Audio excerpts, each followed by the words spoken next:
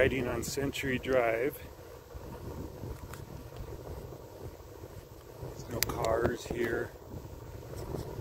It's early season. You can't see, but there's snow on the left and right of me. Can't see some paddles in the picture there. Planning on doing some rafting up here in the snow. Uh, so that's what I'm up to.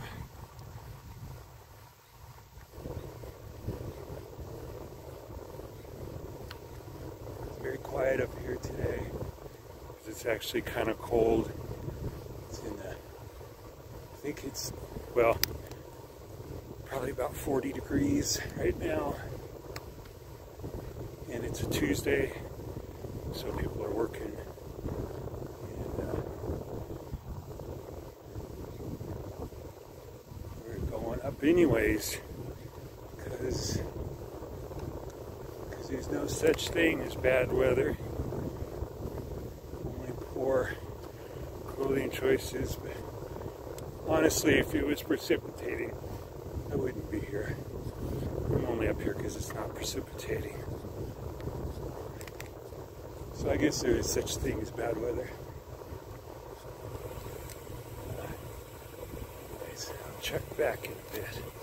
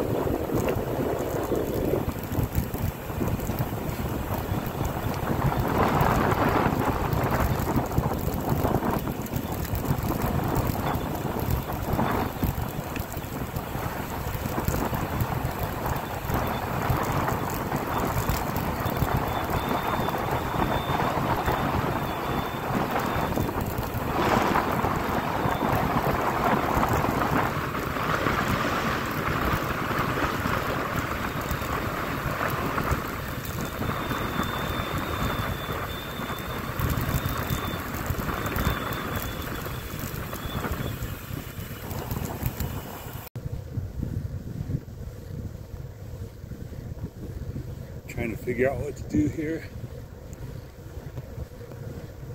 Bachelor's in front of me. There's fresh snow on Bachelor there. I could go to Devil's Lake. I've got a raft with me. So I'm either gonna raft Devil's Lake or I'm gonna see if I can float down this creek that's coming up. Think I'm gonna try this creek. Which is gonna be kind of interesting because I don't know how I get back to here if I float down to the lake. But it looks like there's some snow melted along the edge of the creek. I could probably just walk back along the edge of the creek. I'll show you the creek here coming up to the bridge right now. I don't know if I can ride this or not. So we'll try to ride down into the creek. I'm on a basically a road bike. This is kind of sketchy.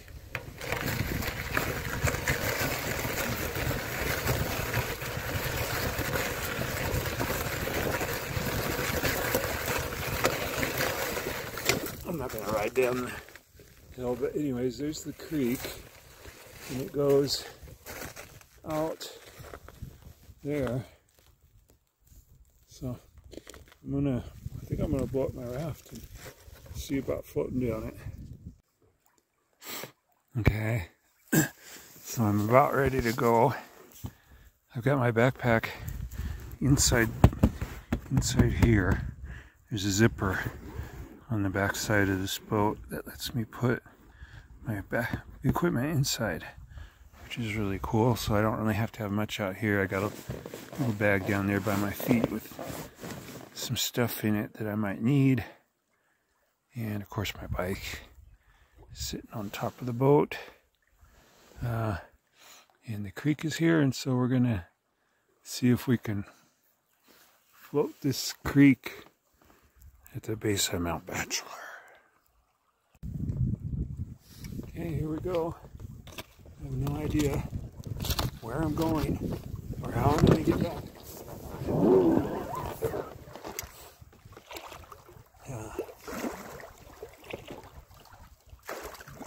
I could get stuck having to walk through snow to get back.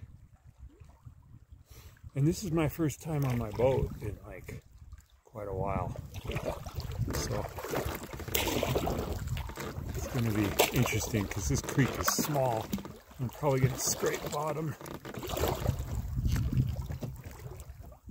I've basically forgotten how to navigate.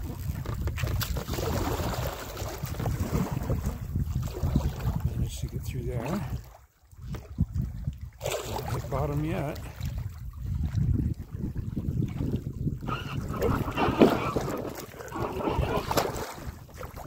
Some of that. My thought process is I'll be able to walk out on the grass you see on the side of the creek.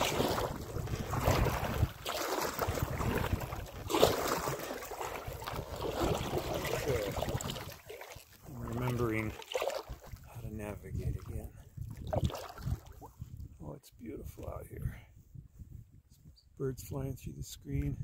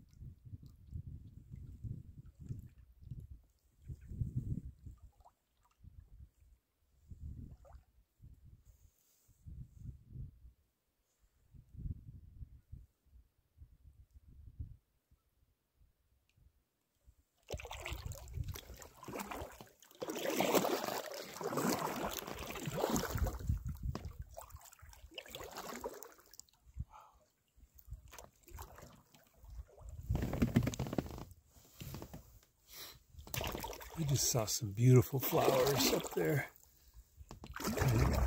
In the frame right now, but you can't see them.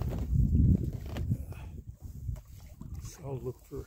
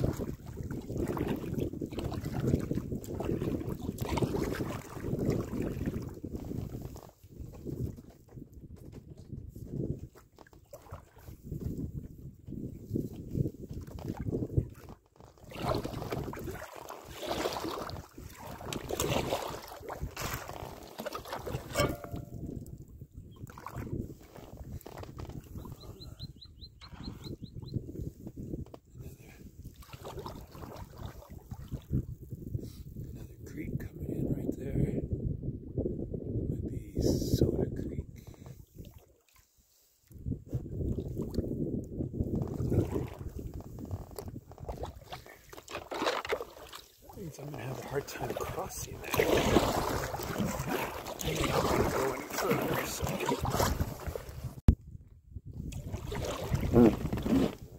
Okay, so I've decided to go downstream more.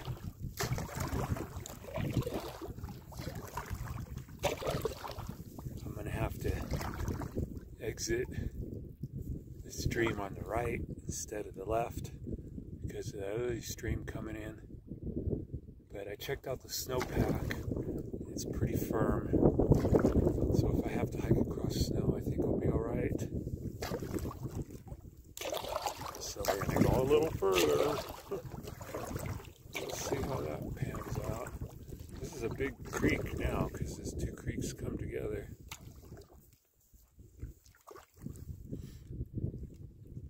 Cruising along. 2.7 miles an hour.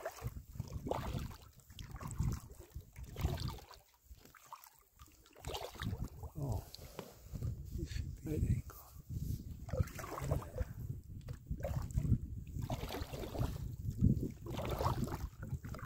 I don't think it'll be much longer and we'll get to the lake. It's been a long float.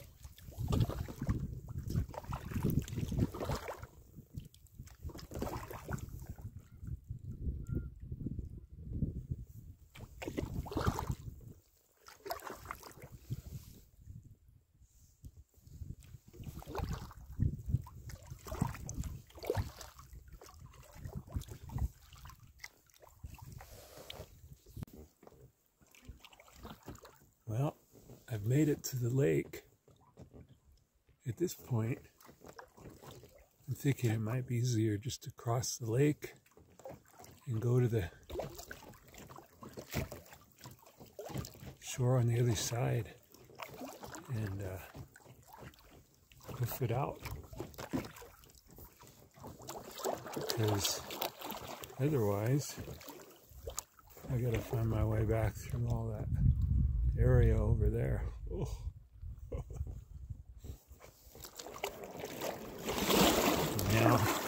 I'm in the shallow part of the lake, kind of touching the reeds a little bit.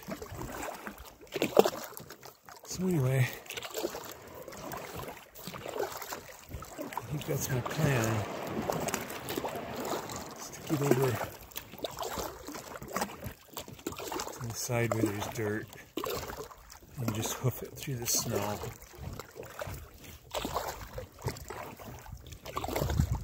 It's actually probably 45 degrees out here now, so it's not terrible.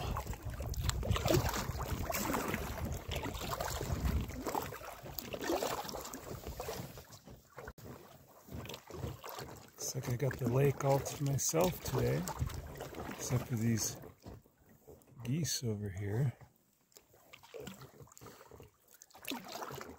Having a good time on the ice shelf.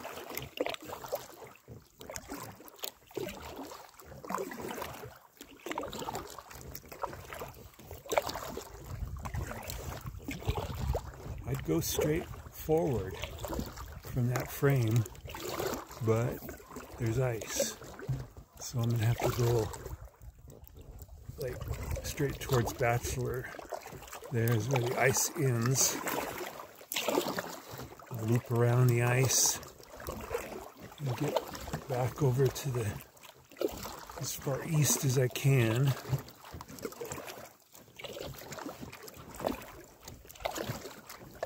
Starting to feel a little bit like a interesting trip.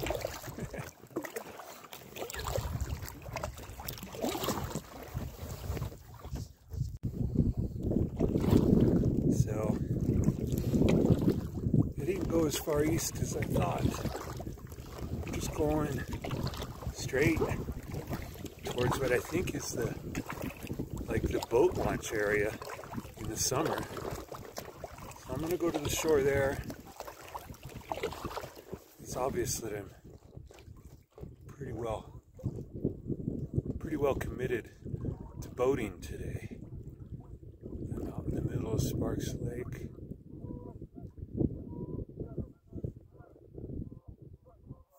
Not a soul around.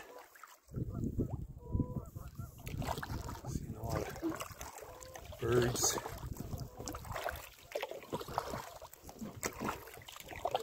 A fish jump.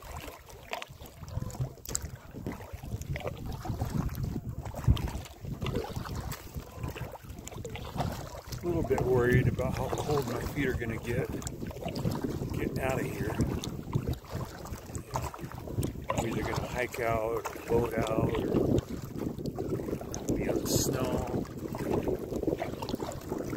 So I can find some dirt. It's mostly snow around here, really.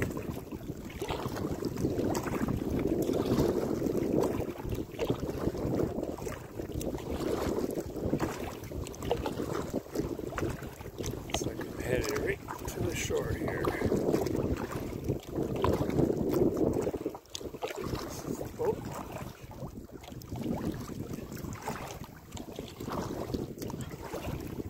Seems like it's close.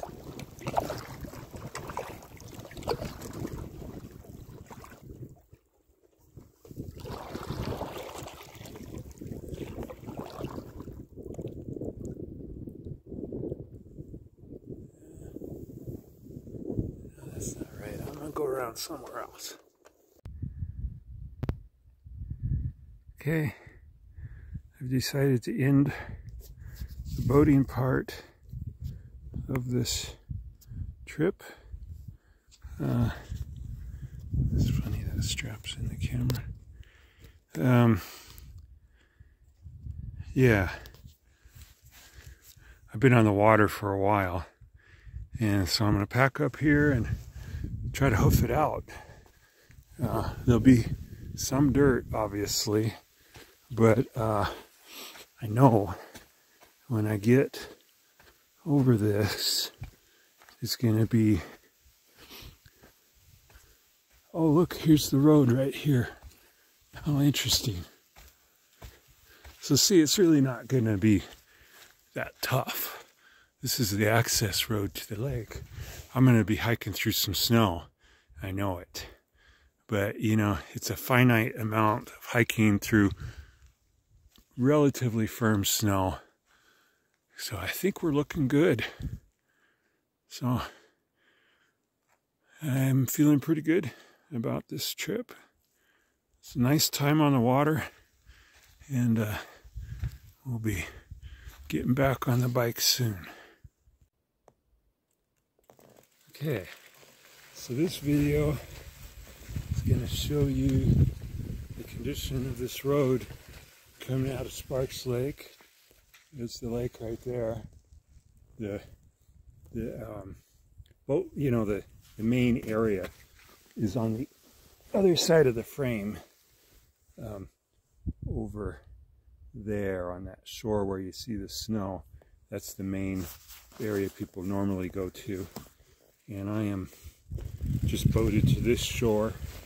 And now I'm gonna hike out because even though I could ride this part right here, but because uh, I'm still wearing my boat shoes because I've actually got uh, neoprene socks on because I'm anticipating walking through snow and I'm thinking those will keep my feet warmer in the snow and uh, in my biking shoes and wool socks for my bike ride will be dry.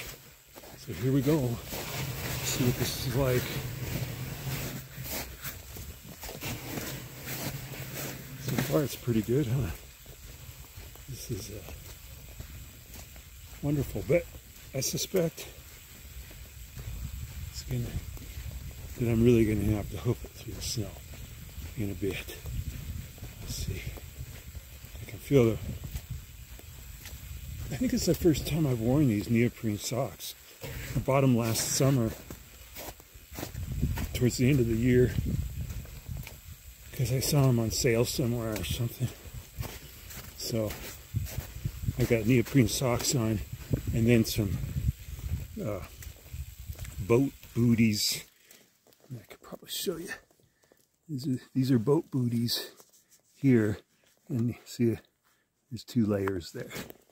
So we'll see what that does. Because here we go. We're getting in the snow now. Okay. It's about, boy, but at this point, it feels like it's 50 degrees out.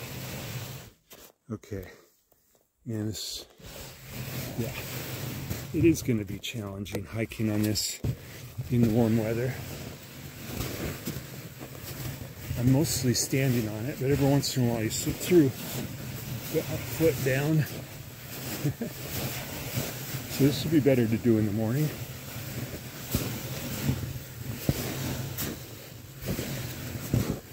But, you know,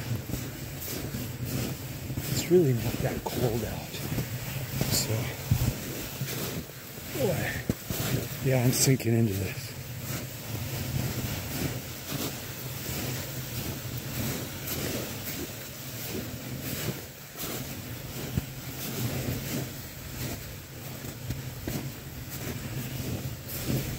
So anyway, I think that video you get the idea. It's working. And uh, that's all for this video.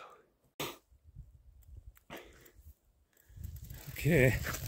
Well, I've been hiking for, I don't know how long.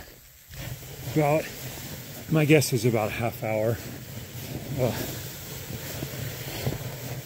through snow where I'm oftentimes sinking to uh, foot deep in soft, wet snow.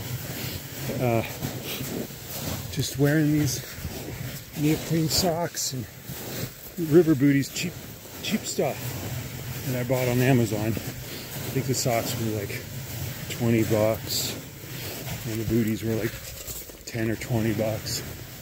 And uh, looks like we're gonna make it. My feet are like, they're not cold at all. Uh, like I can kind of feel a little coolness, basically. Uh, I can't tell if they're wet or not, really. But I wouldn't care if they were at this temperature. They're, they're just fine. So it's a really good idea to hike with neoprene and river shoes on in the snow, if that's what you got, rather than your biking shoes. So now when I get to pavement, all I gotta do is pull off these river river clothes and uh, I've got some nice warm dry wool socks and dry cycling shoes just waiting for me in my backpack. So I can't, oh, I just got, I just stepped into a big puddle. that was kind of ridiculous. It was a bunch of water I just stepped in. Anyway, uh, still don't necessarily feel wet in the feet. Not sure why that is. If maybe the neoprene booties actually do waterproof. I just, it doesn't really make sense because I've been sinking over the height of the booties. But then I got these cycling pants on. Maybe they're preventing the snow from entering. There we are. Okay. So, I've made it to uh, Century Drive, which is close to cars. But uh, I just did a big loop around uh, some creek, Soda Creek, I think. Floated through uh, Sparks Lake and came back to the main road. So, see what's next. So here's my reward hanging in my hammock. I happen to be in the shade, which actually at this moment is kind of nice. I really haven't been cold today, even though it's like probably 50 degrees out here. Uh, but I'm just hanging by the creek. Got myself a bar I'm gonna eat and a bottle of water I'm gonna drink kick back here for a little bit and get ready for the ride out. So, it's a good day.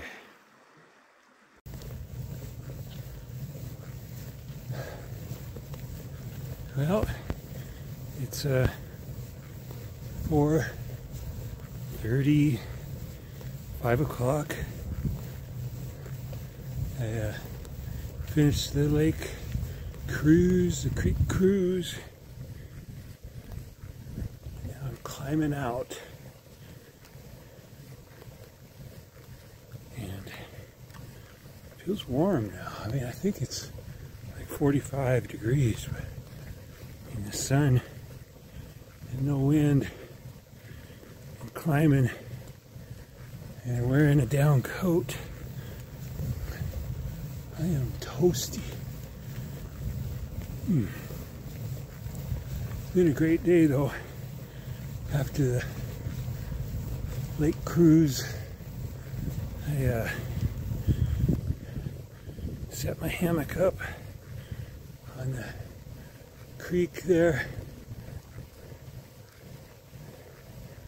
Took a had a bar, took a nap.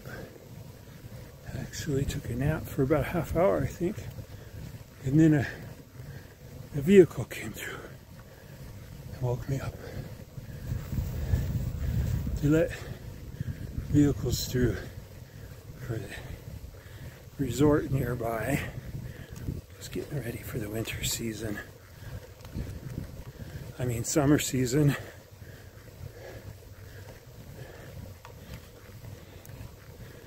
But anyway, a couple more miles of climbing and I'll be done. It's only a, I'm at 10 miles for the day. I'll be about 15, I think, when I'm done. Maybe 14, something like that. Who knows? Maybe 13, but not many miles today. Just a kind of recreational day. That's the beauty about uh, cycling, hiking, boating. Get good at it enables you to get there. And some days, I think it's important to not worry about how fast you're going how many miles you did, how many feet you climbed, how, you know, get out in the woods any way you can, find a quiet spot. In the sun if it's cool, or in the shade if it's warm. Get a hammock, lay in it, take a nap, listen to the birds,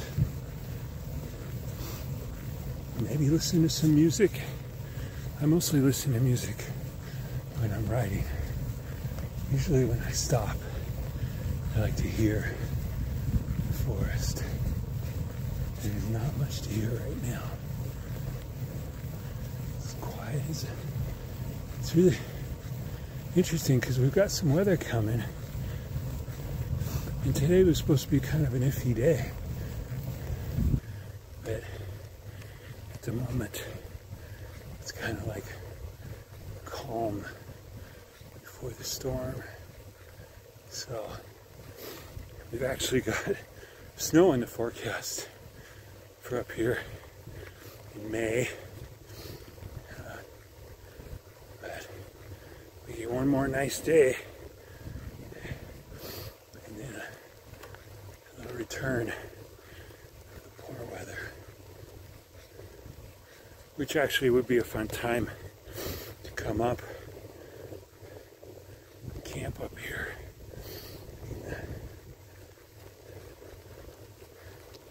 You know, bring a winter tent, kind of a bomb-proof setup, do that. That'd be fun. Okay, onward.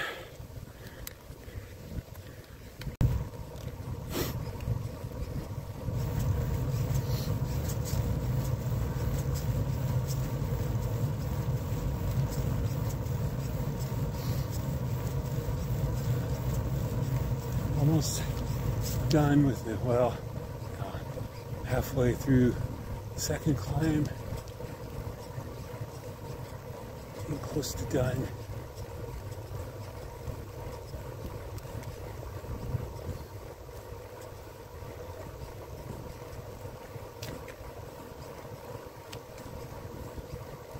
I don't know if this video is any good. I just thought it's so peaceful out here. Maybe I should turn the camera around. It's not like super scenic. Just so nice. So nice to take a day easy. It reminds me of a video I saw on YouTube recently, some guy talking about being burnt out. I couldn't really follow what he was saying because I guess I don't get burnt out. If I'm not enjoying myself out here, I stop. You know, Uh, every minute of it's got to be enjoyed. Well, I guess that's not true. There's times when you kind of push it stuff, but there's got to be some uh, reward for being out here. For me, I like to think that I'm dancing when I'm out here. A lot of times I listen, most of the time, I'm listening to music when I'm riding. And, uh, and I'm basically dancing.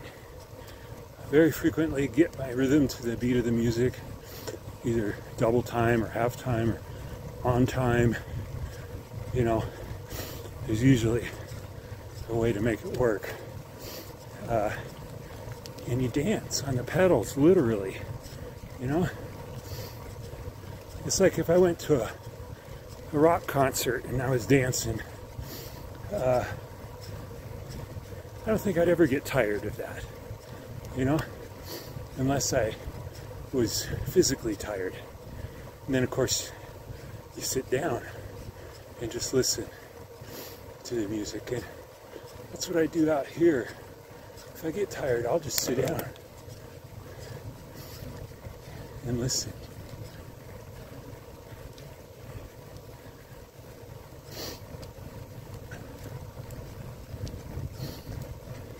And listen to my body too. You know, I don't, well, I never really did do prescribed exercise. I always just rode what my body tells me to do. I think it's a lot more enjoyable. I mean, unless you're training to race and make money being an athlete professionally, there's no point in worrying about it too much. Just enjoy yourself. Don't worry about your speed. I already said that. I'm repeating myself. I know. I figured I'm just going to throw this video up. The whole day's worth of videos. Unedited. In one big video. So, it's going to be really long and really boring. And nobody's going to watch it. So, if somebody is watching it,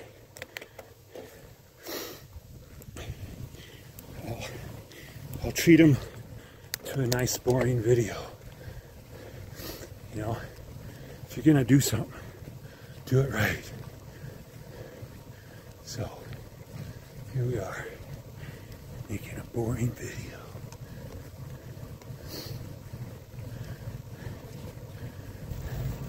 Maybe I'll just let the video run the whole way back. I'm pretty close, actually.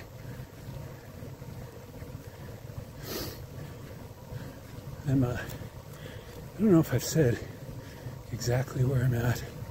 There's so many things I've said to the camera, but I'm by Mount Bachelor in Bend, Oregon. The road's closed to cars because it's early season. And I am now approaching Dutchman Flat, which is where my car is. I don't usually uh, drive to ride up here. I'd usually ride up here, but uh, I got a late start today. Uh, and I had a whole bunch of things I wanted to do up here. Wanted to go boating, wanted to set up my hammock, have an easy day. Uh, so I drove up.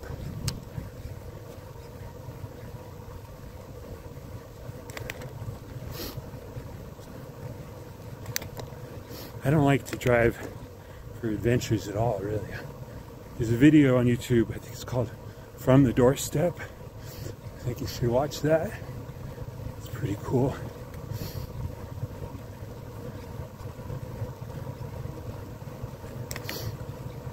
Leaving from your door, not using gas. It's a good thing. I know sometimes you gotta use a car. It's, I'm not like a strict environmentalist in that way. I just like the idea. Coasting downhill now. I think the video gets a little jumpy when I do that.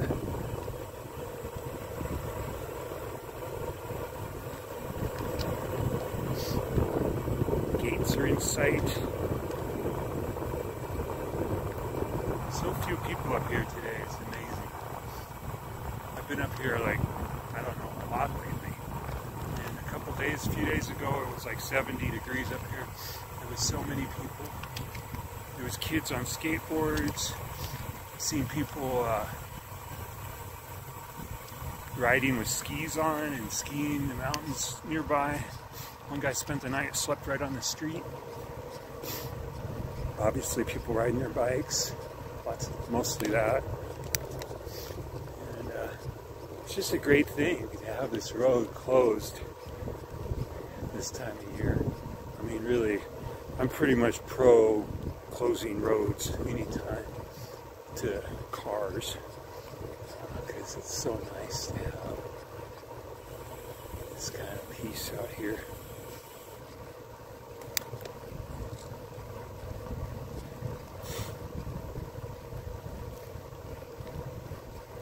And final meters. Or yards. Using the English system. So I can tell you how many cars there are here. On uh, Tuesday at uh, whoa, it's almost six o'clock now. Uh, looks like well, I can't tell you. One, two, three, four, five cars here, and uh, one of them's mine. I gotta do a little dirt here to get around this gate.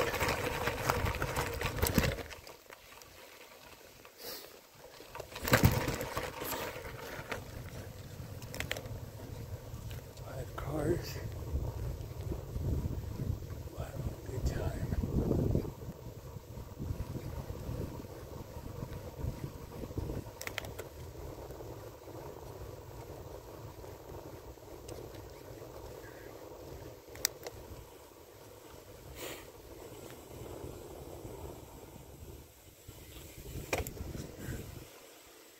Okay. Well, that's it.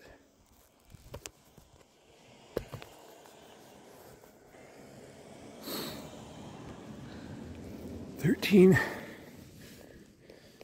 13 miles in three hours. That's not a speedy day, but it was a beautiful day, wasn't it? It was.